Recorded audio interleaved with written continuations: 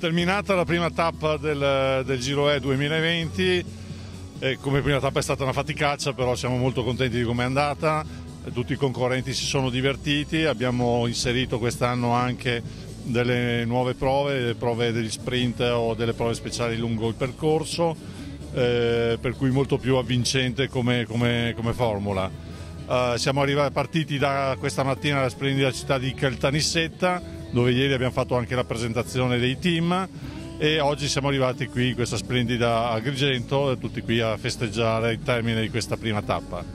La maglia viola del leader della classifica è vestita dal team Agenzia Nazionale Turismo con il capitano Max Lelli, ma oggi quest'anno abbiamo anche dei capitani molto importanti come Gigi Simoni, come Moreno Moser, come Roberto Ferrari e quindi diciamo un roster di partecipazione di ex professionisti molto elevato. Ora ci prepariamo per domani, domani già una, avremo già una tappa molto impegnativa con l'arrivo sull'Etna, tutti i team sono al completo perché tutti volevano partecipare a questa tappa, sarà sicuramente partiremo dalla Biancavilla e per arrivare poi alla cima all'Etna dove arriveranno anche i professionisti e vi attendiamo numerosi.